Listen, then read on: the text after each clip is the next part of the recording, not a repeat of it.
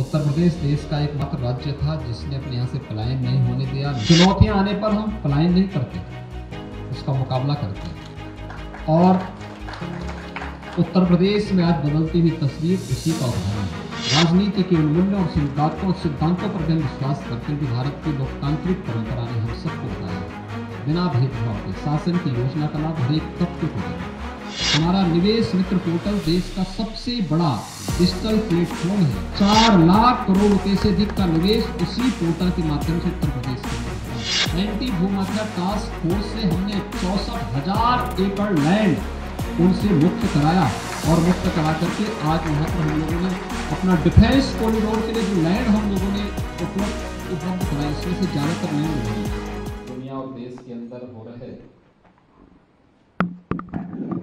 शासन की ओर से आयोजित रोड शोज़ के कार्यक्रम में आज हम लोग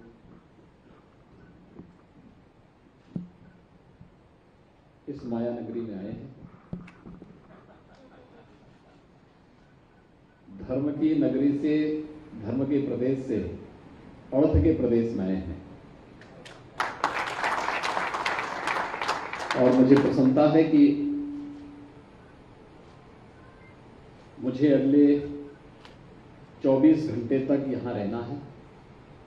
और इन 24 घंटों के अंदर मुझे यहाँ विभिन्न स्टेक होल्डर्स के साथ संवाद करना है और इस संवाद की शुरुआत उत्तर प्रदेश डायस्पोरा की ओर से आयोजित इस कार्यक्रम से हो रहा है।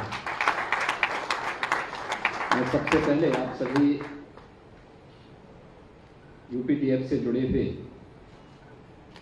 बंधुओं का,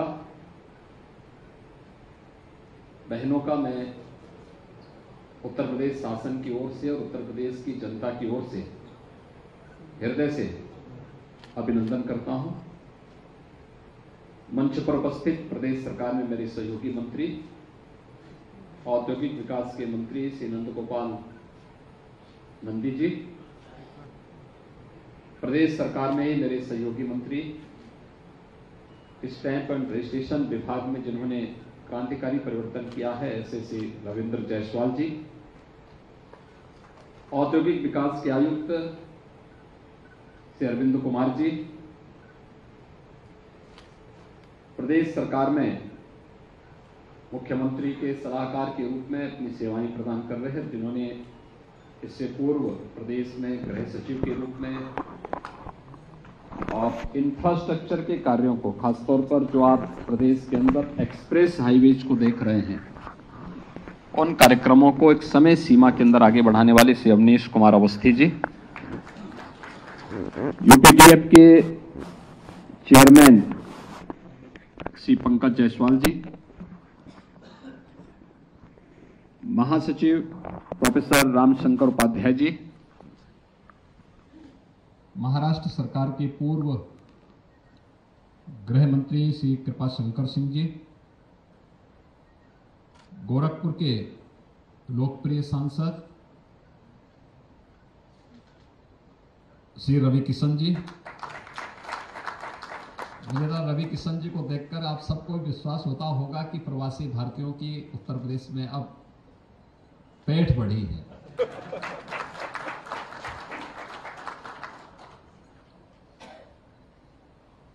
आज के इस कार्यक्रम में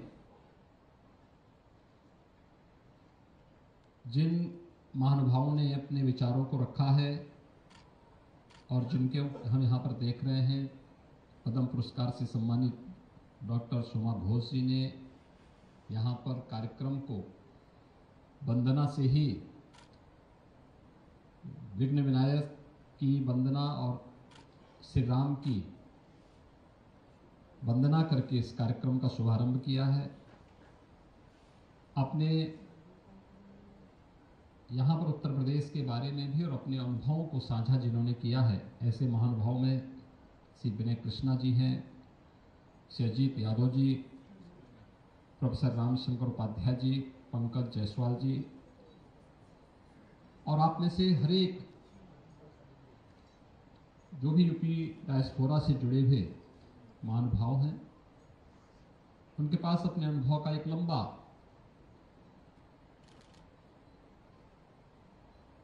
बहुत कुछ कहने के लिए और अपनी बातों को साझा करने के लिए बहुत कुछ है। लेकिन समय की बाध्यता आपके लिए भी होगी, मेरे लिए भी होगी, इसलिए मैं यहाँ पे आयोजकों ने एक समय सीमा के अंदर इसे सीमित किया है। मैं प्रयास करूँगा कि आप सबकी बातों को अपने इस उद्बोधन के साथ समाहित कर सकूँ। और आपके जो भी सुझाव होंगे, उत्तर प्रदेश की दृष्टि से, उत्तर प्रदेश की 25 करोड़ जनता के जीवन में परिवर्तन लाने के लिए,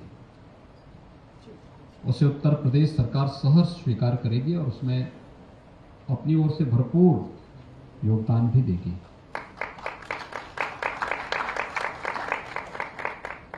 बंधु, सामान्यतः हमेशा लोग आते हैं, भाषण करते हैं, सब कुछ होता है। लेकिन संकट के समय कौन हमारे साथ खड़ा हो सकता है? यह हमारी कसौटी का मानक बनता है। मेरा यह मानना था कि, और हम सब इस बात को मान सकते हैं, कि इस सदी का सबसे बड़ा संकट आया था। और खास तौर पर प्रवासियों पर। जब इस सदी की सबसे बड़ी महामारी आई थी और उस महामारी के दौरान किस प्रकार की स्थिति थी, उत्तर प्रदेश देश का एकमात्र राज्य था जिसने अपने यहाँ से पलायन नहीं होने दिया, लेकिन उत्तर प्रदेश के हर एक प्रवासी के लिए अपने द्वार भी खोले और उनके उनके गंतव्य तक पहुँचाने के साथ साथ उन्हें हर प्रकार का सहयोग करने में अपना योगदान दिया। लोग बहुत सारी चर्चाएँ करते थे। लेकिन हम आभारी हैं प्रधानमंत्री मोदी जी के, जिनके मार्गदर्शन और प्रेरणा से हम लोगों ने उस समय 40 लाख प्रवासी उत्तर प्रदेश के अंदर आए थे। सभी लोग चिंतित थे, कहाँ जाएँगे, क्या करेंगे, आप क्यों ऐसा काम कर रहे हैं, अपने ऊपर ये सब बवाल क्यों लेना चाहते हैं? मैंने कहा, उत्तर प्रदेश के हैं और उनका उत्तर प्रदेश से पूरा अधिकार है, और जो कुछ हमारे पास होगा, हम असंभव उनकी मदद करेंगे। और मुझे प्रसन्नता है कि हर एक प्रवासी उत्तर प्रदेश वासी ने पूरा अनुशासन का ध्यान रखा। उत्तर प्रदेश शासन की सुविधा को सिर आँखों पर रख करके और फिर हमारे साथ मिलकर के उत्तर प्रदेश के अंदर कोरोना प्रबंधन का एक बेहतरीन उदाहरण प्रस्तुत किया, जो देश के अंदर एक मॉडल भी बना। हम संकट के साथी हैं। चुनौतियाँ आने पर हम पलायन नहीं करते, उसका मुकाबला करते हैं। और उत्तर प्रदेश में आज बदलती हुई तस्वीर उसी का उदाहरण है। आपने बदलते हुए उत्तर प्रदेश को देखा है, पिछले पाँच साल के अंदर। हर एक सरकार ने अपने स्तर पर योगदान किया होगा। करना भी चाहिए, जनता इसलिए चुनती भी है।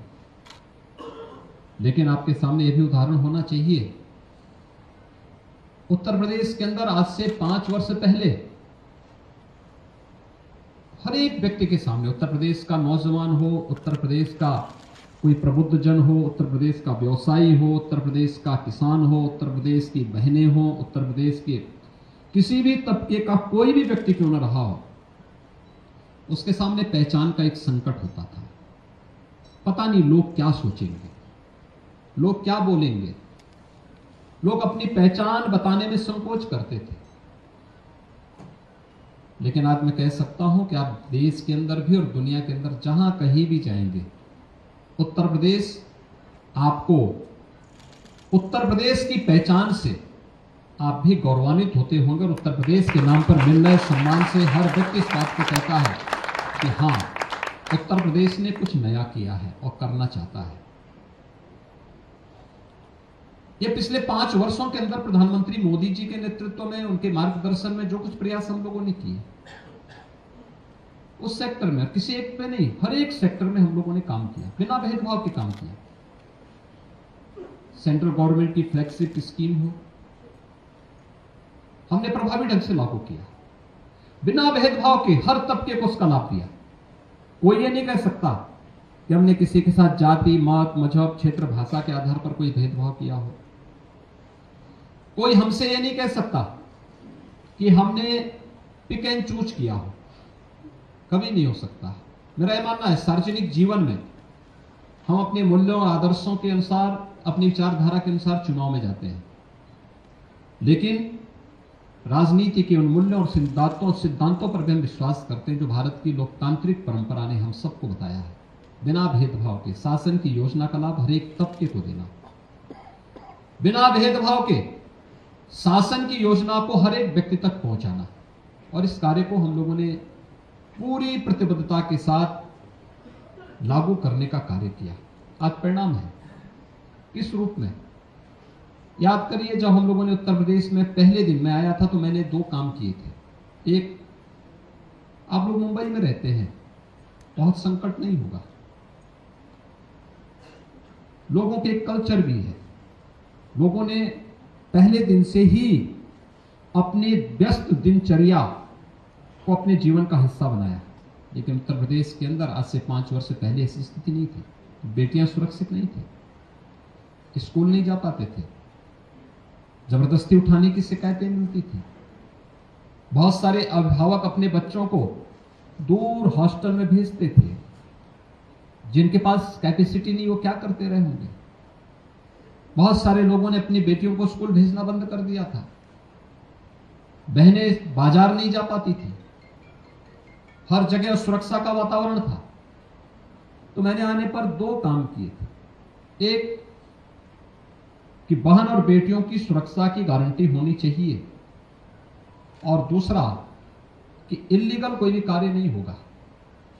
और अगले 24 घंटे के अंदर मैंने इसे प्रभावी ढंग से लागू करने का है कि भाई देखो, एक तो उत्तर प्रदेश के अंदर हर एक स्तर पर आप कार्रवाई करिए। अगर कहीं भी मेरे सामने शिकायत आई, किसी बेटी, किसी बहन की ओर से शिकायत आई कि हमारे आवागमन में, हमारी स्वतंत्रता में इस व्यक्ति ने या फलानी स्थान पर ये हुआ है, बाधा पहुँची है, सुरक्षा खतरे में है तो वहाँ पर सबकी हम जवाबदेही तय करेंगे। एक अभियान चला। दूसरा, हमने उसी दिन, मैंने उसी दिन तय किया। मैंने कहा, जितने इलीगल एक्टिविटीज़ हैं, एक, जितने इलीगल स्लटर हाउसेज चलते हैं, ये सब बंद कर डालो। और साथ साथ जिन माफियाज ने किसी गरीब की, किसी कमज़ोर की, किसी व्यापारी की, किसी उद्यमी की लैंड पर जबरन कब्जा किया है, अगले 24 घंटे के अंदर ये सब हटता हुआ दिखाई देना चाहिए और इसके बाद फिर आपकी कार्रवाई भी इसके बाद प्रारंभ हो जाना चाहिए। और आपने देखा होगा, ये सब हटता हुआ दिखाई दिया होगा। आज जो परिवर्तन हुआ है, यानी हमारी सरकार को लगभग छह वर्ष होने जा रहे हैं। उत्तर प्रदेश जैसे राज्य में पहली बार हुआ है कि कोई मुख्यमंत्री पाँच साल का अपना कार्यकाल पूरा करने के बाद फिर से दो तिहाई बहुमत के साथ सरकार बना रहा है। पहली बार हुआ है, सैतीस वर्ष के बाद कोई सरकार रिपीट कर रही है। प्रधानमंत्री मोदी जी का यशस्वी नेतृत्व है, उनका मार्गदर्शन है। जनता जनार्दन का यह आशीर्वाद इसलिए प्राप्त हुआ, क्योंकि उसे लगा कि हाँ इस परिवर्तन के साथ हमें हमें भी सहभागी बनना है। कोरोना कालखंड में चुनाव हो रहा था, लोग बहुत सारी बातें करते थे। और मैं देखता था कभी कभी मुझे बहुत सारे लोग कहते थे जब मैंने महिला सुरक्षा को लेकर के अनेक कदम उठाए, लोग कहते थे, सब क्या कर रहे हैं आप? हम कहाँ जी रहे हैं आप? बहुत सारे लोगों ने मेरी बातों को गलत तरीके से प्रस्तुत किया, लेकिन आश्चर्यजनक है, जब चुनाव है तो वही माताएँ, वही बहनें और वही बेटियाँ बोलती थी कि हम लोग, ना हमारी कोई जाति है, ना मत है, ना मज़हब है, हमारा वोट केवल कमल की फूल पर जाएगा। बीजेपी को देंगे मोदी जी को देंगे योगी जी को देंगे ये वही कहती थे। आधी आबादी ने उन सभी सीमाओं को तोड़ा, उन सभी बाधाओं को तोड़ा और फिर से दो तिहाई बहुमत के साथ डंके की चोट पर हमारी सरकार फिर से उत्तर प्रदेश की जनता की सेवा कर रही है। आपने देखा होगा, पिछले पौने छह वर्ष के अंदर उत्तर प्रदेश के अंदर कोई दंगा नहीं हुआ। कोई दंगा नहीं। नहीं तो हर दूसरे दिन एक दंगा होता था। पर्व और त्योहार नहीं मनाए जा सकते थे। और आज मैं जो आपको यहाँ आश्वस्त करने के लिए आया हूँ, इसी बात को आश्वस्त करने के लिए। आप तो उत्तर प्रदेश में आपका संवाद है, संबंध है, बराबर आना जाना है, परिवर्तन आपने देखा होगा, और परिवर्तन की दिशा में किए जाने वाले प्रयास को भी आपने नज़दीक से महसूस किया है। ये सभी चीज़ें बहुत तेज़ी के साथ वहाँ घटित हुई हैं और दिख रही हैं। यह तब है जब हम लोगों ने मात्र ढाई वर्ष का कार्यकाल भी यानी मात्र हम दो वर्ष का कार्यकाल ही पूरा कर पाए थे। तब तक कोरोना महामारी आ गई। और तब भी हम रुके नहीं, डिगे नहीं, झुके नहीं, और हमने प्लान का रास्ता भी नहीं अपनाया। हम मजबूती के साथ जुटे रहे, डटे रहे, आगे बढ़ते रहे। हर एक फ़ील्ड में उत्तर प्रदेश ने कुछ ना कुछ नया किया है। और ये परिवर्तन उसी का हिस्सा है। कोरोना कालखंड में जब दुनिया पस्त थी, उत्तर प्रदेश अपने यहाँ निवेश करा रहा था। दुनिया देश की पहली डिस्प्ले यूनिट उत्तर प्रदेश के अंदर इस दौरान लगती है। और ये उत्तर प्रदेश के अंदर आज उसने प्रोडक्शन भी प्रारंभ कर दिया है। उत्तर प्रदेश ने आज कानून व्यवस्था के एक बेहतरीन मॉडल खड़ा किया है। हमने इसके लिए हमें रिफॉर्म करने पड़े। पुलिस फोर्स का मॉडर्नाइजेशन करना पड़ा। डेढ़ लाख से अधिक भर्तियाँ हम लोगों ने की। लेकिन भर्ती की प्रक्रिया इतनी पारदर्शी थी, इतनी पारदर्शी थी, किसी को उंगली उठाने का अवसर भी नहीं मिला। हम लोग अब तक पाँच लाख से अधिक युवाओं को सरकारी नौकरी दे चुके हैं। कोई उंगली नहीं उठा सकता। कि किसी को जाति के नाम पर, मत या मज़हब के आधार पर किसी के साथ भेदभाव हुआ हो। और मैंने पहले दिन ही कहा था, भर्ती के लिए जो नियामक बोर्ड थे, आयोग थे, इन सबको मैंने पहले दिन कहा था। मैंने कहा, आपके कार्य में किसी का हस्तक्षेप नहीं होगा। मुझे निष्पक्ष और पारदर्शी भर्ती की प्रक्रिया चाहिए। और अगर इसमें शिकायत होगी, जितनी फ्रीडम मैंने दी है, उतनी सख्ती से कार्रवाई भी करूँगा। आप तय करेंगे और आपने देखा होगा, एक भी शिकायत आपको नहीं मिली होगी, कोई शिकायत नहीं। मैं गया था, मुझे याद है जब लोकसभा चुनाव चल रहे थे, बागपत से आपके मुंबई के पूर्व पुलिस कमिश्नर चुनाव लड़ रहे थे। लोग कहते थे, वो जीत नहीं पाएँगे। मैं कहता था, जीतेंगे। सारे सर्वे कहते थे, हार जाएँगे। मैं कहता था, जीतेंगे। लोग कहते थे, क्यों? मैं कहता था यू बागपत के हर गाँव से यूपी पुलिस में कोई ना कोई नौजवान भर्ती हुआ है। और आप देखना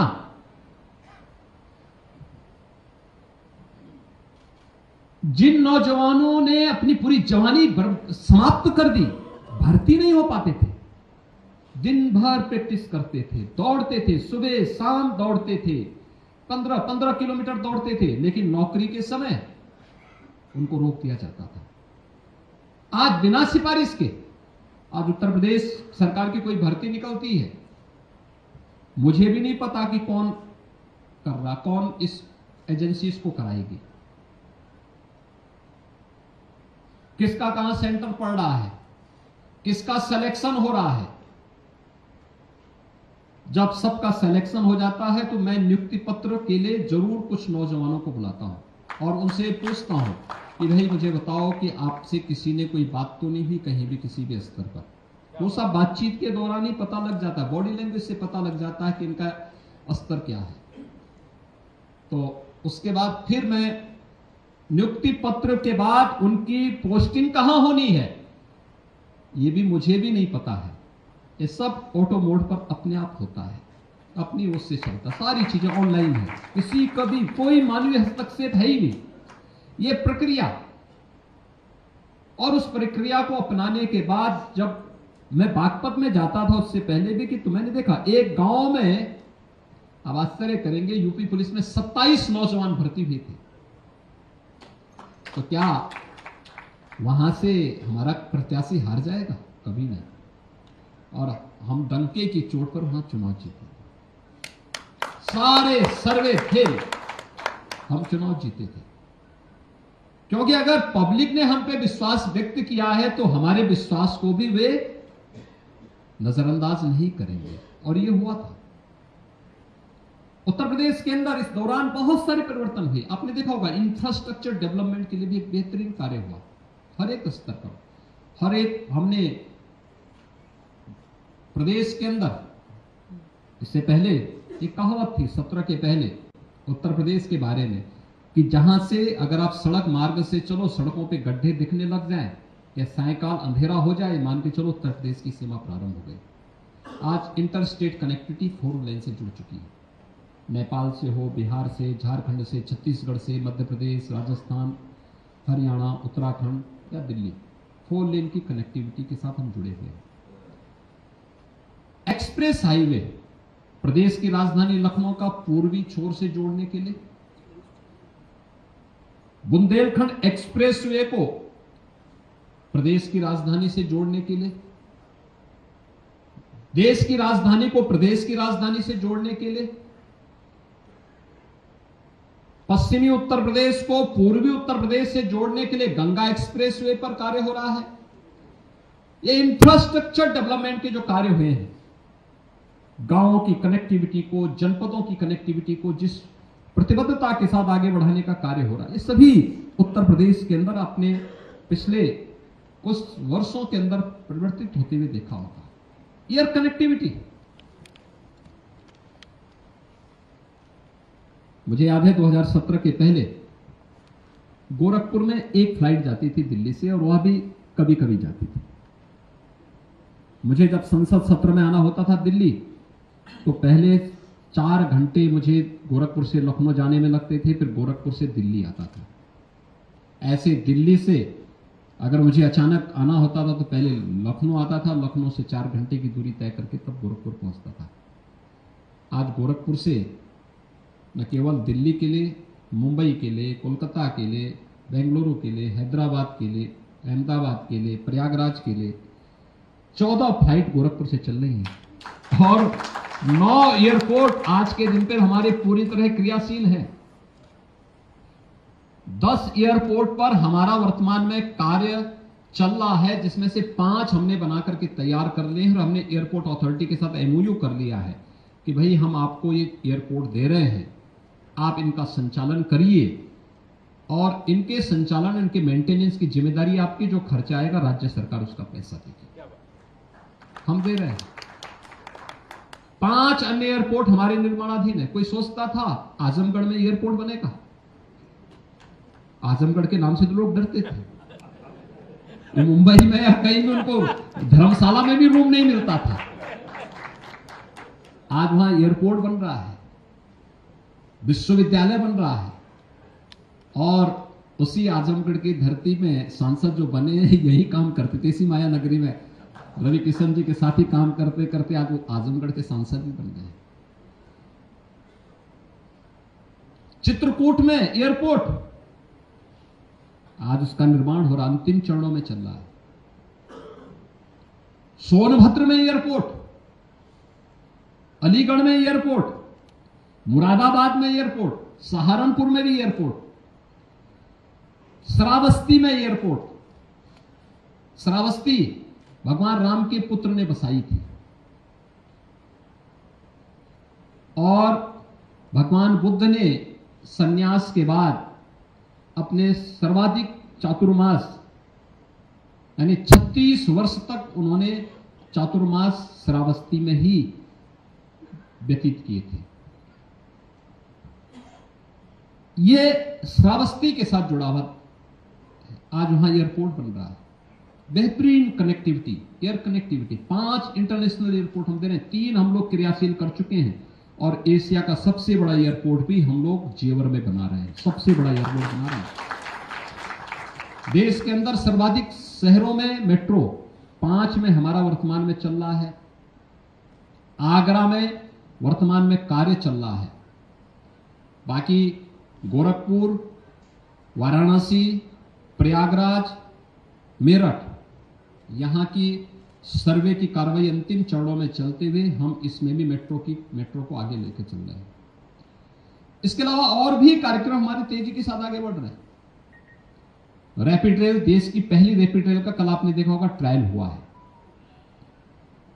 दिल्ली से मेरठ की दूरी पहले तय करने में लगते थे तीन घंटे, आज मात्र 45 मिनट में।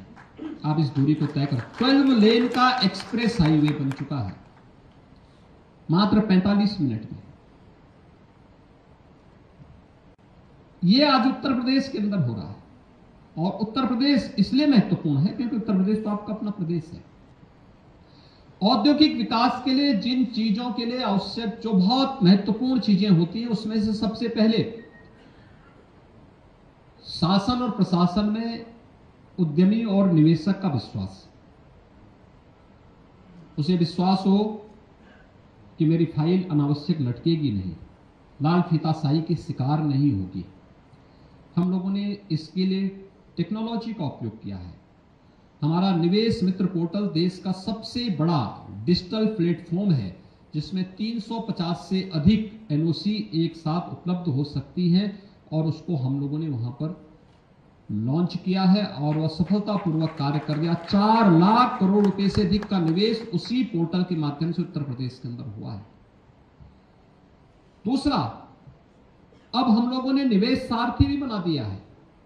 अगर किसी निवेशक ने हमारे साथ एमओयू किया तो निवेश सारथी इसका प्रतिदिन मॉनिटरिंग करेगा।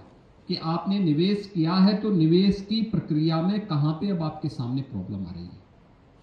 उसको हम उसके माध्यम से देख रहे हैं। और फिर निवेश आपका हो गया है तो निवेश होने के बाद आपको समय पे इंसेंटिव मिली है। इसके लिए भी हम लोगों ने ऑनलाइन प्लेटफॉर्म बना दिया है। डिजिटल प्लेटफॉर्म के माध्यम से इस पूरी प्रक्रिया को बिना किसी मानवीय हस्तक्षेप के आगे बढ़ाने की कार्रवाई को साथ हम आगे बढ़ा बढ़ा चुके हैं। तो एक विश्वास दूसरा सुरक्षा का माहौल। सुरक्षा, बेहतरीन सुरक्षा। उत्तर प्रदेश के अंदर आज सुरक्षा का वातावरण है और जो भी निवेशक जिन्होंने उत्तर प्रदेश के अंदर निवेश किया है, कोई नहीं कह सकता है, यहाँ तक कि जो लोग वहाँ निर्माण कार्य में लगे इंफ्रास्ट्रक्चर डेवलपमेंट के जो लोग वहाँ कार्य कर रहे हैं, वहाँ पर आज कोई ज़बरदस्ती किसी के साथ, किसी के ठेके पट्टे पे हस्तक्षेप नहीं कर सकता। कोई ज़बरदस्ती नहीं कर सकता। अगर कोई करेगा तो फिर उसको लेने के देने पड़ जाएँगे। ये नहीं हो सकता उत्तर प्रदेश के और मैं इस बात को विश्वास के साथ कह सकता हूँ, उत्तर प्रदेश के अंदर कभी नहीं कोई नहीं कर सकता तीसरा है लैंड बैंक हमारे पास पर्याप्त मात्रा में लैंड बैंक आपको याद होगा मैंने एक एंटी भूमाफिया टास्क फोर्स बनाया था। एंटी भूमाफिया टास्क फोर्स से हमने चौसठ हज़ार एकड़ लैंड उनसे मुक्त कराया और मुक्त करा करके आज वहाँ पर हम लोगों ने अपना डिफेंस कॉरिडोर के लिए जो लैंड हम लोगों ने उपलब्ध उपलब्ध कराई, इसमें से ज़्यादातर लैंड वही है। और बेहतरीन हो रहा है, पूरी ये पूरी लैंड हम लोगों ने ली है। लेने के बाद ये सरकारी लैंड थी, या निजी लैंड थी तो उसका कंपनसेशन देकर के हम लोगों ने इन कार्यक्रमों को आगे बढ़ाया है। तो हर एक दिशा में ये है और सबसे महत्वपूर्ण है, किसी भी औद्योगिक निवेश और विकास के लिए। एमएसएमई का क्लस्टर देश का सबसे अच्छा एमएसएमई का जो बेस है वो यूपी के पास है। छियानवे लाख एमएसएमई यूनिट है यूपी के पास। छियानवे लाख। मुझे याद था जब हमने वन डिस्ट्रिक्ट वन प्रोडक्ट की अपनी नीति प्रारंभ की थी। वन डिस्ट्रिक्ट वन प्रोडक्ट की। परंपरागत उद्यम को प्रमोट करने के लिए हमारे पूर्वजों ने बड़े परिश्रम के साथ हर एक जनपद के साथ कुछ ना कुछ जोड़ा था। हर एक के साथ जोड़ा था। देखिए उत्तर प्रदेश ऐसे ही ईश्वर की आराधना का और उनके अवतार की भूमि नहीं थी। वो पुरुषार्थ की भूमि रही है पुरुषार्थ। लोगों ने परिश्रम से उत्तर प्रदेश को उत्तर प्रदेश बनाया। ईश्वरीय अवतार तभी वहाँ बार बार हुए। माँ गंगा का आशीर्वाद और माँ यमुना का आशीर्वाद तभी वहाँ प्राप्त हुआ। बाबा विश्वनाथ का धाम वहाँ इसीलिए बना। क्योंकि उत्तर प्रदेश में उस प्रकार की पोटेंशियल थी। वहाँ के उद्यमियों ने, हमारे पूर्वजों ने उस प्रकार की मेहनत की। कौन ऐसा जनपद है जिसके पास अपनी परंपरागत पूंजी न हो? सूक्ष्म, लघु, मध्यम, उद्यम क्षेत्र में कौन सा ऐसा जनपद है इसके पास न हो? हर एक जनपद की। और उसी को हम लोगों ने 2018 में वन डिस्ट्रिक्ट वन प्रोडक्ट के रूप में प्रमोट किया था। आप आश्चर्य करेंगे, इसने हमारे एक्सपोर्ट को दुगना से अधिक किया है। आज हम लोग लगभग एक लाख साठ हज़ार करोड़ रुपए का एक्सपोर्ट कर रहे हैं। इतना बड़ी पूंजी उत्तर प्रदेश एक्सपोर्ट करे उत्तर प्रदेश एक्सपोर्ट प्रदेश के रूप में होगा। लैंड लॉक प्रदेश की बात हो रही थी। अभी यहाँ पर जो बात की जा रही थी, पंकज जी के द्वारा जो बात बताई जा रही थी, हमने अब उत्तर प्रदेश के अंदर आदरणीय प्रधानमंत्री जी की कृपा और उनके मार्गदर्शन में, आज आप देखते होंगे उत्तर प्रदेश के अंदर, कैसे हम लोगों ने इस कार्यक्रम को आगे बढ़ाया बहुत बेहतरीन तरीके से। हमने इंफ्रास्ट्रक्चर रोड इंफ्रास्ट्रक्चर दिया है एयर कनेक्टिविटी भी दी है। देश के अंदर रेल का सबसे अच्छा नेटवर्क भी हमारे पास है। सोलह हज़ार किलोमीटर का रेल नेटवर्क है। Eastern and western dedicated ferry जो फ्रेट कॉरिडोर ये उत्तर प्रदेश से होकर के जाता है और इसका जंक्शन भी उत्तर प्रदेश के ही जेवर के पास है। लॉजिस्टिक हब के लिए वहाँ पर उत्तर प्रदेश के अंदर जो अपार संभावनाएँ हैं, उन सब के साथ ही अब उत्तर प्रदेश ने लैंड लॉक्ड स्टेट की अपनी इस धारणा को भी समाप्त करते हुए हमारे पास जो नदियाँ हैं, इनको हम लोगों ने वाटर वे के रूप में उपयोग करना प्रारंभ कर दिया। हल्दिया से वाराणसी के बीच इस पे हम लोगों ने अपनी कार्गो सेवा प्रारंभ कर दी है। और अब तो पैसेंजर भी इसमें प्रारंभ चलने प्रारंभ हो गए। तेरह जनवरी को आदरणीय प्रधानमंत्री जी शुभारंभ करेंगे दुनिया के सबसे बड़े क्रूज का जो वाराणसी से डिब्रूगढ़ जाएगा। अभी से बुकिंग हो गई है और इसी वर्ष की नहीं अगले दो वर्षों की बुकिंग भी एडवांस में हो चुकी है। अभी से बुकिंग हो चुकी है।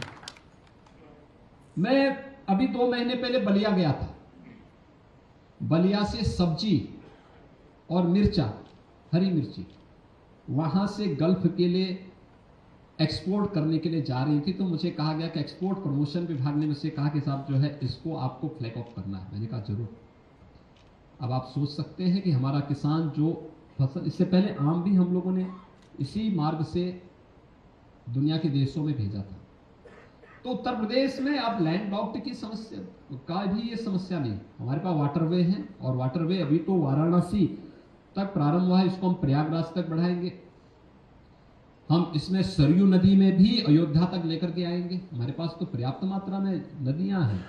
नदियों का एक बहुत अच्छा जाल हमारे पास मौजूद है और इसका भी हम उपयोग करेंगे।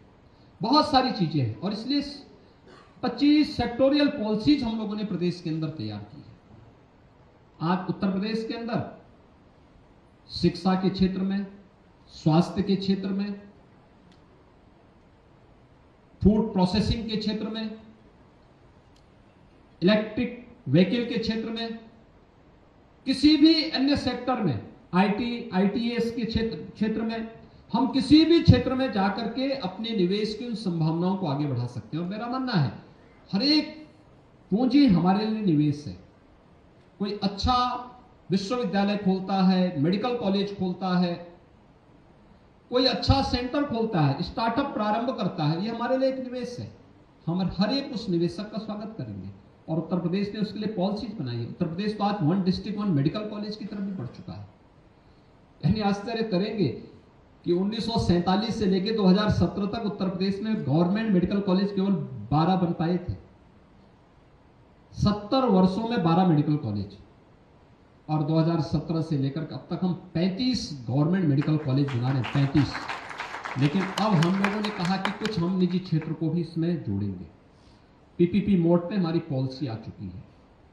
हमारे जो 10 जनपद बचे थे, उन 10 जनपदों में से 6 जनपदों के लिए हमारे पास प्रस्ताव आ चुके हैं। चार जनपद बचे हैं जिस पर हम मेडिकल कॉलेज निर्माण के कार्यक्रम को आगे बढ़ा रहे हैं। और ये भी मेरा विश्वास है कि इस इन्वेस्टर समिट के साथ हम लोग उन जनपदों को भी कवर कर लेंगे। बहुत सारे सेक्टर हैं जिसमें कार्य किया जा सकता है।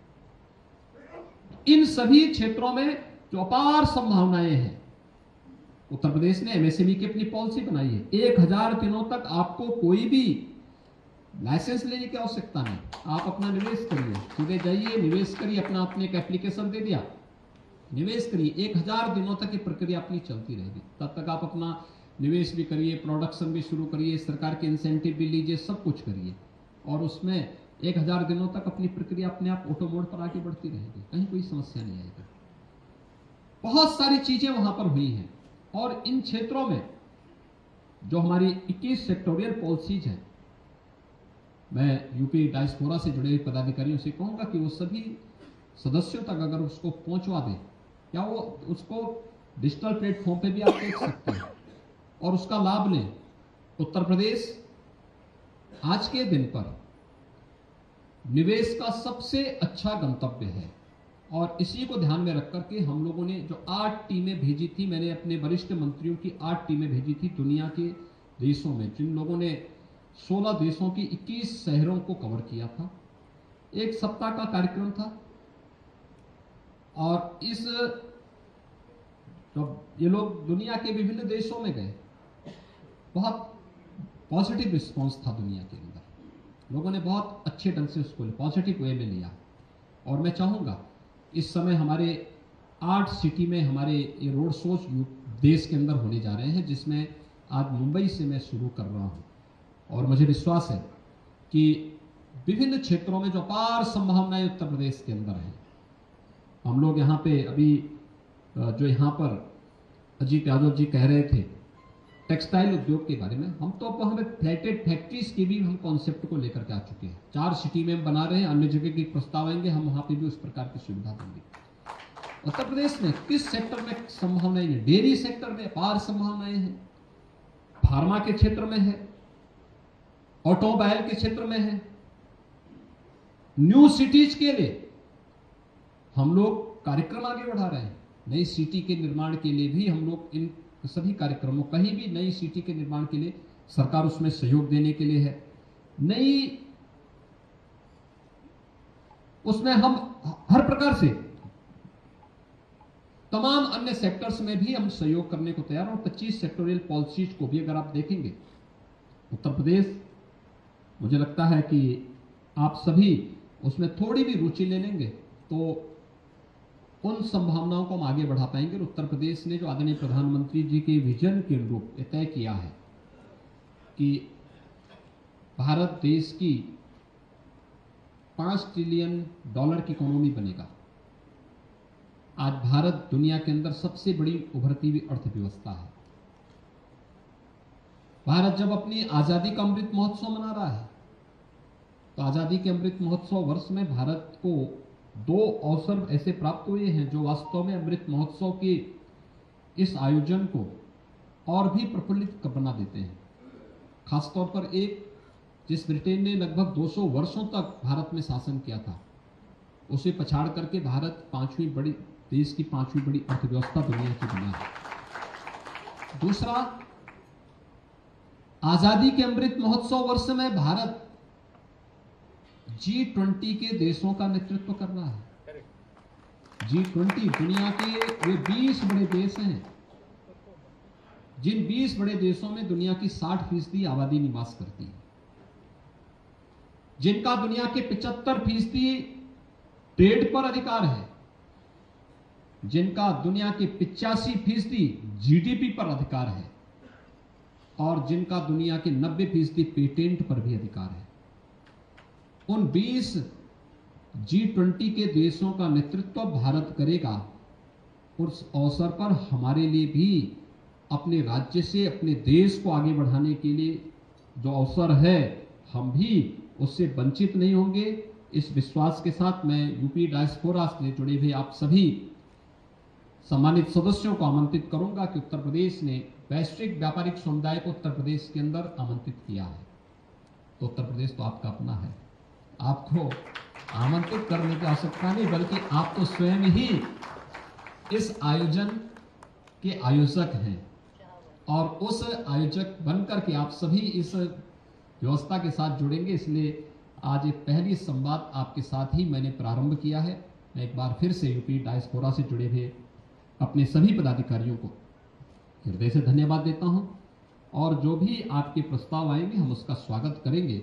और उत्तर प्रदेश तो हम इस बारे में कह सकते हैं कि अगले पाँच वर्ष के अंदर आदरणीय प्रधानमंत्री जी की मंशा के अनुरूप वन ट्रिलियन डॉलर की इकोनॉमी के रूप में आगे बढ़ाने में हम सब अपना योगदान मिल करके देंगे तो उसका परिणाम भी हमारे सामने बेहतरीन तरीके से आएगा और परिणाम अवश्य आएगा। इसमें कोई संदेह नहीं होना चाहिए। इस विश्वास के साथ मैं आप सबकी उपस्थिति के लिए आपका एक बार फिर से धन्यवाद करता हूँ।